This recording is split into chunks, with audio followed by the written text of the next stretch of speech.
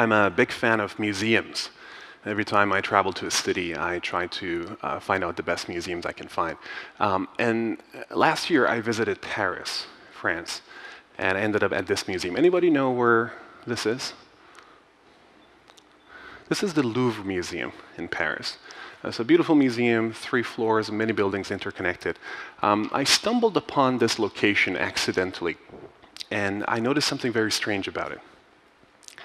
Every moment I looked at this wall, there were people walking away from this wall or around it. There are five beautiful paintings on this wall, uh, and the strange thing was that nobody was walking towards the wall. Which begged the question um, uh, what's happening on the other side of this loneliest place at the Louvre Museum? And if you look, there are 300 people on the other side, and they're all trying to catch a glimpse of Da Vinci's masterpiece, the Mona Lisa. Um, the wall is an interesting place. I think it epitomizes a type of internal fear that we all have. The question of what you're working on today, whether it'll stand the test of time, whether what you're focused on will matter in the long term. It's not about fame or fortune, it's about impact, it's about beauty, it's about creating something of value. So I ponder on this question uh, quite a bit of how to end up on the right side of the wall. And I can tell you, having gone through two days of our content, you probably are quite excited. You probably have a few ideas of your own. So let's talk about how to develop those ideas. At Singularity, we are in a privileged position to see folks such as yourself who come to our program, see the content, and then they emerge excited, inspired. And we can also see what happens after they leave. So this is really a bit of our pattern recognition on uh, what works and how to try to end up on the right side of the wall. First step, uh, and there are many uses for a logo. Uh, the first idea, and I think this is something that Da Vinci, Michelangelo uh, would agree with, is the notion that your reach exceeds your imagination. The biggest risk is not to think big enough. Uh, fast forward a year from now, when you reflect back on today, uh, most likely you will regret things you did not attempt, projects you did not decide to work on. So keep that in mind. Recognize that there might be a glass ceiling above your head about what is possible. When you attempt big projects, uh, then failure, uh, risk of failure is also big. I always joke that I've never done anything well that I hadn't done badly first. I think Da Vinci would agree. The photo, the picture on the right is a painting uh, that is attributed to Da Vinci, and it is now known as the Isleworth Mona Lisa. Uh, it is something that is believed to have been painted by Da Vinci 15 years before the actual Mona Lisa. And uh, you can tell that there's an order of magnitude improvement over the course of that 15 years. There's a good lesson for all of us here, great reminder that it is okay to start small and fail and uh, get the failure out of the way, get the badly done first out of the way. Uh, da Vinci is also known to have attempted up to 15 projects at the same time. And in doing so, he epitomizes the notion of a portfolio approach to innovation. This is something that I really uh, believe in, and I think it's great if you are shooting for 10x, if you are aspiring to create big change, to attempt big innovation projects, it is a good idea not to put all your eggs in one basket and take inspiration from Da Vinci to take on a portfolio approach. Uh, most importantly, Da Vinci also had something else. He had a platform. A platform is a place where people get you. People understand what you're about, they understand how you think about the world. And I think it is fair to say that without Renaissance Italy, we wouldn't have Da Vinci. So while he had it in, in Renaissance Italy, he had this platform. Uh, my belief is you have such a platform in Singularity University. It is the type of place where everybody speaks exponentials.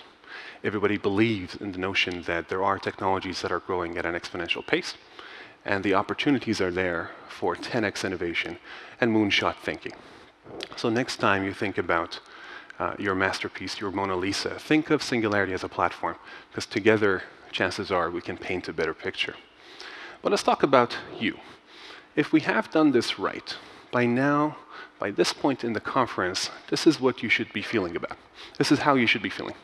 Uh, a little excited, uh, energized, uplifted, and to a certain extent, optimistic. Um, but if you think about how your world, the world you're going back to after today, is going to react to your energy, uh, you realize that some of your behavior is going to register as threatening. If the current way of doing stuff at your organization uh, could be a TV box, let's just use the analogy of a TV box. This is really how your behavior is going to register. There is fire, there is destruction, and your innovative, disruptive ideas will feel quite threatening. So, really, the first pattern we have noticed in folks emerging from singularity is to make sure you manage emotions. Managing emotions, recognizing emotions. The second concept is a lot of folks will think of your 10x innovation, disruption ideas as uh, a gamble. In a sense, you need to manage their perception of risk. The truth is, in order to have 10x innovation, you do not need to take on 10 times the risk. That's the beauty of exponentials.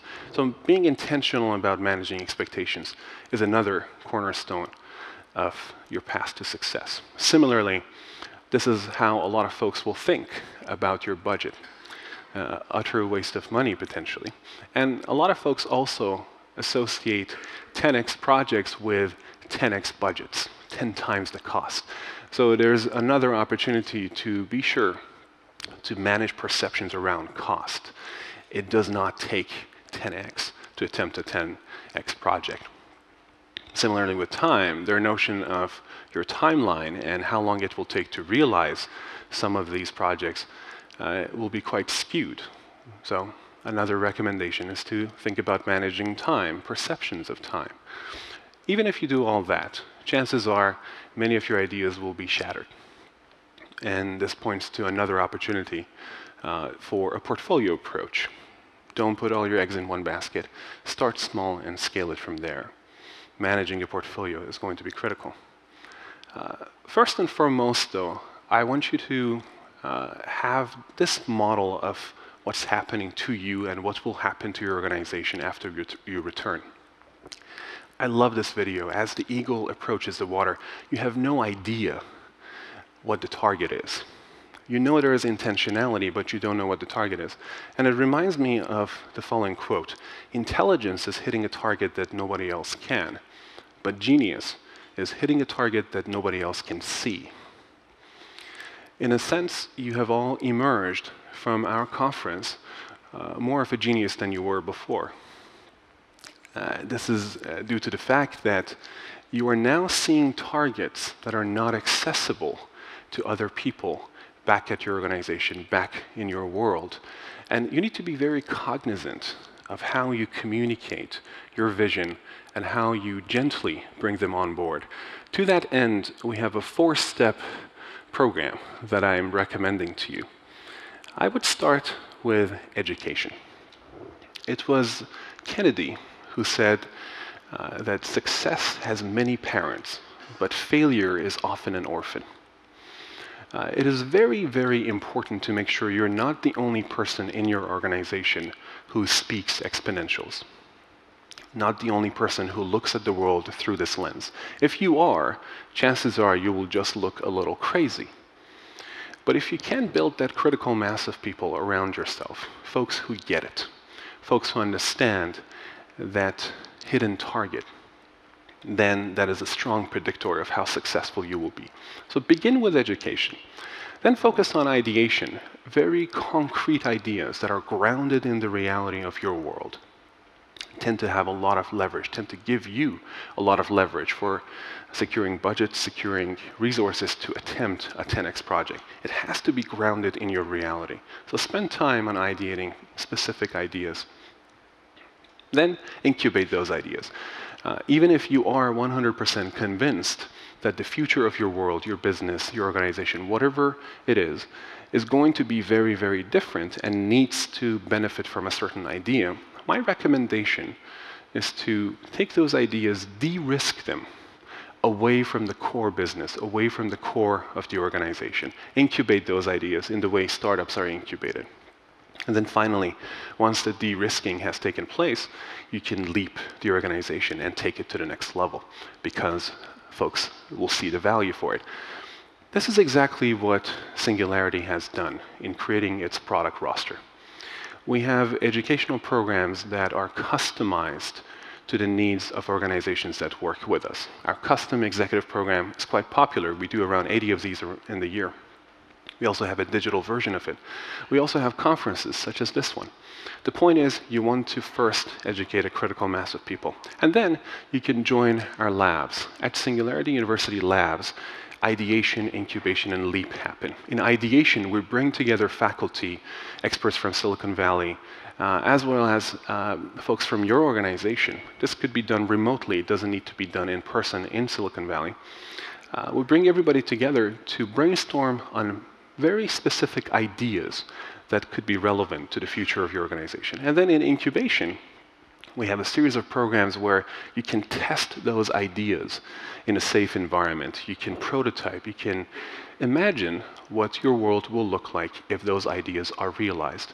And finally, LEAP is uh, the opportunity for you to transform your organization through exponential organizations, behavioral design, and a few other elements. So this is the full portfolio. And if any of this resonates, please uh, do count on us as a resource. There's a link at the bottom uh, that you can check out. You can fill it out, and somebody from my team will get back to you to explore partnership opportunities. Thank you so much.